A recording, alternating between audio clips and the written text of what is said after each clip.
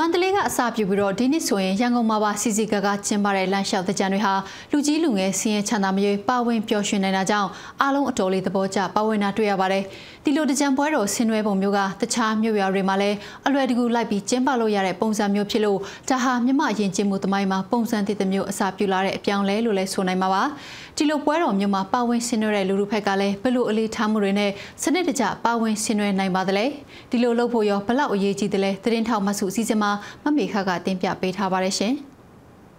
ရန်ကုန်မြို့ကြီးမှာဆယ်စုနှစ်တခုကျော်လောက်စီးပွားရေးမန်ဒတ်ဒေတာရိုးရာတကြံပွဲတော်တွေမှာနေရာယူကြီးစိုးခဲ့တာပါဒီလိုကြီးစိုးချိန်မှာမြမရင်ချိန်မှုမျက်နှာစာမှာတော့ခေလွန်ဝစ်စားစင်ရင်မှုတွေမူရရန်ကားမှုတွေလူငယ်တွေကြားမူရစေပြတ်နေမှုတွေတိုးပွားလာခဲ့ပါတယ်။ NLD အစိုးရတာဝန်ယူချိန်မှာတော့ဒီလိုစီးပွားရေးမန်ဒတ်ဆောက်လုပ်ခွင့်တွေကိုရက်ဆိုင်တာနဲ့ရှော့ချတာတွေဖြစ်လာခဲ့ပါတယ်။ ဒီလိုပြုရင်ပြောင်းလဲမှုကနေအစပြုလို့နောက်ပိုင်းမှာတော့မိသားစုလိုက်တစုတဝေးပျော်ရွှင်ရေကစားနိုင်ရေပတ်ခံထွက်နိုင်တဲ့လမ်းလျှောက်တကြံတွေပိုပြီးဆင်နွှဲလာကြတာပါအခုဆိုရင်ရန်ကုန်နဲ့မြို့တော်တော်များများမှာလမ်းလျှောက်တကြံတွေကူးဆက်ပြန့်နှံ့လာတာကြောင့်တကြံရည်ကျိမှုအရွေးတစ်ခုအနေနဲ့မြင်လာရပါတယ် ဒီနှစ်တကြံဟာအရင်နှစ်တွေကထပ်ပိုပြီးစီကံတကြနဲ့ရင်းရင်ကြည်ကြည်ဖြစ်လာသလို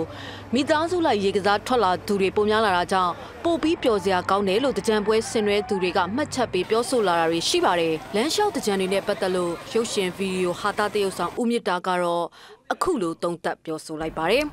။လူတိုင်းလူတိုင်းဟာမိသားစုရှိကြတယ်။မိသားစုရှိကြတဲ့ကြောင့်မလို့မိသားစုကိုကိုသားကိုသမီးကိုလက်ဆွဲပြီးလက်တွဲပြီးတော့ အာလန်းလျှောက်တဲ့ကြံဆိုတဲ့အနှစ်အရသာလေးပေါ်လွင်စီဖို့အတွက်အာဒါလေးတော့ကောင်းတယ်ဟိဒီလူလေးတော့အဆင်ပြေတယ်ဟိအာသမီးရေဟောကြဝိတ္တဆရာလေးဘလို့ယဉ်ကျေးထားလဲစံထားစရာလေးကွာအာတာတွေ့လားဟာဘလို့ယဉ်ကျေးလဲကွာအဲ့ဒါလေးဆိုတဲ့အဲ့ဒီလိုမျိုးလေးတွေရှိလာရင်တော့ပူကောင်းမယ်လို့ဦးမြတ်ထင်မိတယ်အခုကကြတော့လမ်းလျှောက်တဲ့ကြံတော့လမ်းလျှောက်တဲ့ကြံပဲ အဲယောက်ျားလေး၄၅6 9ယောက်အဲမိန်းကလေး၄၅6 9ယောက်အဲ့လိုစုပြီးတော့တွားကြတယ်อืมဝိတ္တစားတာကြတော့လေအဲ့လိုတတိရှိရှိဝေးကြတယ်ပေါ့သူတို့ဝေးရဲကြတယ်ပေါ့နော်အဲ့ဒါလေးတွေတွေ့တာကြတော့တမျိုးပဲနောက်စိတ်ပိုင်းဆိုင်ရာလွတ်လပ်မှုတွေဟာစိတ်ပိုင်းဆိုင်ရာလွတ်လပ်မှုဟာအဲ့စိတ်ပိုင်းဆိုင်ရာလွတ်လပ်မှုဒီယဉ်ကျေးမှုတစ်ခုကိုမထိခိုက်ဖို့အတွက်တော့ထိမ့်သိမ့်နေတယ် အဲ့ဒါလေးတော့ရှိသေးတယ်ဒီနေ့ရန်ကုန်မြို့မှာဆိုရင်လမ်းလျှောက်တကြံပွဲတော်တွေကို9နေရာမှာစီစီကားကားကျင်းပခဲ့တယ်လို့မြို့တော်ဝိုင်တကြံမန်းတက်ပေါင်းကတော့30ကျော်ရှိပါတယ်။ဒါဟာအရင်နှစ်တေကထက်မန်းတက်အရေးအတွက်ပိုများလာတာဖြစ်တယ်လို့လမ်းလျှောက်တကြံကိုလည်းပို့ပြီးတော့စီကားအောင်တိုးလုပ်ခဲ့တာဖြစ်ပါတယ်။ရန်ကုန်တကြံမှာစီကားဆုံးကတော့ အင်းရလန်းပေါ်ကတိုင်းရင်သားရိုးရာလမ်းလျှောက်တကြံဖြစ်ပြီးဈေးဆိုင်တွေနဲ့ပြည်နေခဲ့ပါတယ်။တစ်ချိန်လုံးကစီးပွားရေးမန်တပ်မျိုးတွေမရှိတော့ပေမဲ့လို့ဒီအင်းရလန်းလမ်းလျှောက်တကြံမှာစီးပွားရေးဈေးဆိုင်ခန်းတွေကတော့နေရာယူထားနိုင်စေပါ။ ငွေကျပ်3000နီးပါးကုန်ကျခံပြီးလှုပ်ဆောင်ထားတဲ့အင်းရလမ်းလျှောက်တကြံကစုလီဖျားအနီးရန်ကုန်မြို့လေကလမ်းလျှောက်တကြံထက်ပိုပြီးရှောက်လန်းရှည်တယ်လို့ပိုကုန်ကျခံထားရတာကြောင့်ပိုပြီးလဲစီးပွားဆန်ဆန်ဖန်တီးထားတယ်လို့ဆိုနိုင်ပါတယ်။အင်းရလန်းလမ်းလျှောက်တကြံမှာစားတော့ဆရာချိုရောင်းချခဲ့တဲ့ကိုကျော်ကျော်လွင်ကတော့မန်းတက်တွေနာဈေးရောင်းရတာထက်ဒီလိုလမ်းလျှောက်ကြမ်းမှာဈေးရောင်းရတာပိုပြီးအဆင်ပြေတယ်လို့ဆိုပေမဲ့လိုအပ်ချက်တွေရှိနေသေးတာကြောင့်ပြင်ဆင်မှုတွေနဲ့လမ်းလျှောက်ကြမ်းရည်ကြည်မှုကိုဆက်လက်ရှင်တန်းစေခြင်းသူပါ ဒီနေ့ကတော့အရင်နှစ်တွေလောက်ဟိုလူတွေကလေမူးမူးယူးယူးတွေတိတ်မတွေ့ရတော့ပြီးတော့ဝေစားစီရင်တာလည်းအရန်ဟိုဟိုလေမရိုင်းတော့ဘူးပေါ့နော်ပြောရမယ်ဆိုတော့အဲ့ဒါလေးတော့မြင်မိရဒီနေ့ကတော့နည်းနည်းအေးအေးဆေးဆေးဖြစ်တယ်ပေါ့အရင်ဆိုရင်တော့ Facebook တို့ဘာလို့မှမြင်နေတွေ့နေရတာမကောင်းတာတွေကတော့များတာပေါ့ဒီနေ့ကတော့ဟုတ်အဆင်ပြေပါတယ်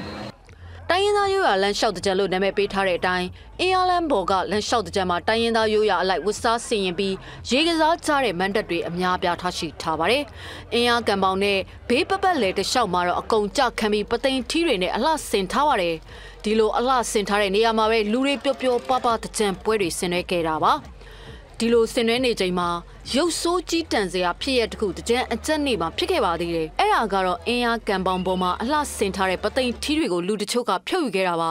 ဒီဖြစ်ရကတကြံကာလလူမှုကွန်ရက်တွေပေါ်မှာဝေဖန်မှုအပြင်းထန်ဆုံးဖြစ်ခဲ့တယ်လို့လူမျိုးတစ်ခုလုံးကိုတိတ်ခါကြစရာဖြစ်ဇောင်းပေးဖော်ပြမှုတွေနဲ့အတော်လေးဆူညံသွားခဲ့ပါတယ်ခုလိုဖြစ်ခဲ့တာဟာလုံခြုံရေးဝန်ထမ်းတွေရဲ့စောင့်ကြည့်ဟန်တာမှုအားနေတာလုပ်ငန်းတာဝန်ပေါ့ရတာတစ်ဖက်မှာလည်းတာဝန်ရှိသူတွေဘက်ကလုံခြုံရေးလုံလုံလောက်လောက်ချမထားလို့ဆိုတဲ့ပြစ်တင်ဝေဖန်မှုတွေရှိခဲ့သလိုတစ်ချိန်တည်းမှာလည်းဒီလိုမဖြစ်အောင်ထိမ့်သိမ့်ဖို့ပြည်သူအလုံးတာဝန်ရှိတယ်လူတွေရဲ့ပညာဉာဏ်အသိဉာဏ်ခေါင်းမမှုဇာရိတပြက်ပြားမှု စနစ်ဆိုးရဲ့ဖြည့်ဆည်းမှုစသဖြင့်တုံ့တက်ပြောဆိုတာတွေလည်းဖြစ်လာခဲ့ပါတယ်ခုလိုလုပ်ရက်ကရှက်စရာကောင်းတဲ့လုပ်ရက်ဆိုတဲ့အတိမျိုးရှိစေခြင်းနဲ့လို့ဦးမြင့်တာကဆိုပါတယ်တချို့ကြတော့လဲရည်ရွယ်ချက်တစ်မျိုးနဲ့ဖြစ်စီတာမျိုးရှိကောင်းရှိနေတယ်တချို့ကြတော့လဲရည်ရွယ်ချက်မဲ့ကိုလိုချင်တာတစ်ခုနဲ့ပဲလုပ်တာမျိုးဖြစ်ကောင်းဖြစ်နေတယ်တချို့တော့လဲသူယူလို့ငါယူတယ်ခွာဆိုတဲ့စိတ်ဖြစ်ကောင်းဖြစ်နေတယ်အဲ့တော့အဲ့ဒီစိတ်ဒီမှာအတ္တ မပါဘဲနဲ့အလှကြည့်တဲ့စိတ်ကလေးတွေနော်မေတ္တာထားတဲ့စိတ်ကလေးတွေထားကြည့်ကြပါလို့မြင်တာတော့အပြပြကြည့်ချင်ပါတယ်နားထောင်မယ်